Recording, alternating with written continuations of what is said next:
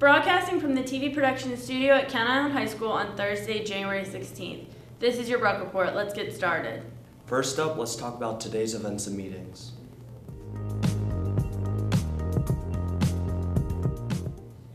The next book club meeting is today from 2:30 to 3:30 in the Media Center. If you do not have a ride at 3:30, the Media Center is open until 5 p.m. Join us to share what you are currently reading or planning to read in 2020. All are welcome to share books, conversations, and help planning upcoming literary events. If you want to participate in Log 1 Round 2 competition, please go directly to Miss Jane's room after school today. It will last for 30 minutes. And now for a look ahead.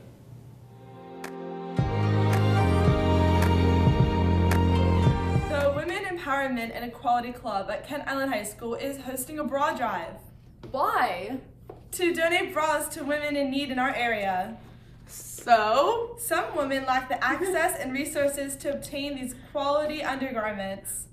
Please help women in need in your area. Donate your bras! There will be a mandatory NAHS meeting tomorrow in room 158. This meeting will be very brief. If you cannot attend, you must email Miss Moyer by tomorrow at noon. Students who do not attend or contact a sponsor will be dropped from the NAHS roster.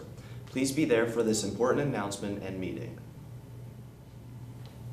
Class of 2021 Spirit Wear is now on sale. Shirts are $20 and sweatpants are $27. Order directly online through Friday, January 24th. See Miss Eisenberg or Miss McAndrews with questions. Links can be found on Class of 2021 Instagram or Facebook page.